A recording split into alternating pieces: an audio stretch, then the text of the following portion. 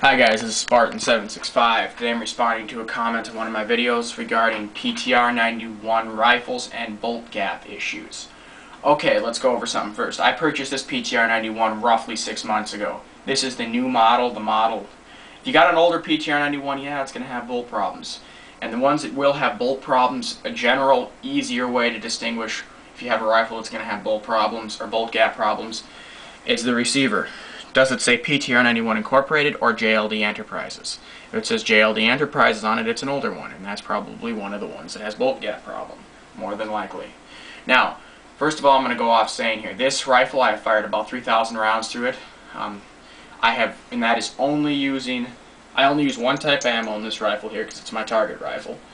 Um, and that is American Eagle Full Metal Jacket 150 grain bullet, made by American Eagle 308 Winchester. Um, that's the only ammo I fire through it. I can get perfect groupings with it if you guys want to know know more about that. I don't have a scope for it yet, but I can get 15 centimeters at 200 meters with it, so I'm entirely pleased with that ammunition. I'm sure I could get better with match grade. Keep in mind, 15 centimeters is about that much at 200 meters with iron sights. That is pretty good. So, um, okay, bolt gap. We're going to explain what bolt gap is. It's kind of like headspace, except not really. Inside your bolt, gets under point. There's this little thing, there's this little gap in between the bolt itself and the bolt carrier. That gap is called your bolt gap. Now, H&K specifications require a, I think it's 0.01 millimeter bolt gap. So a hundredth of a millimeter is their minimum bolt gap. That means if it's any less than that, it needs to be replaced. Um, I don't know what the starting bolt gap is, but I did monitor that from the time I purchased the rifle, firing about uh, somewhere around two, three thousand rounds. I haven't counted exactly through the rifle. I have not seen any, any visible decrease in the bolt gap. You know, the rollers have not worn down the turnion at all. Very little, if at all. I mean, I stuck, pulled the bolt back, stuck my finger in there, and I, it's very smooth where the rollers are on the turnion, but I have cannot feel any ridges or anything like that where the bolt gap would have decreased. Um, that was only with the older rifles, and what caused that is right here. Now as you can clearly see right here, this is where, like on the Spanish CETMEs, set maze don't have this because they're not as good. Um, that's just because they weren't welded right here.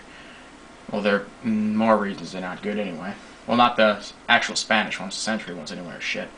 Um, okay, now right here there's a weld. And what this does is this helps, this weld isn't actually required for the rifle operation. It's just something to reinforce. Um, but this weld right here is what helps hold the receiver, which is this here and this here. Underneath this piece of steel is what's called the barrel turnion. The barrel turnion is what holds the barrel to the receiver. Now, the barrel turnion is held on by three ways. Well, two ways.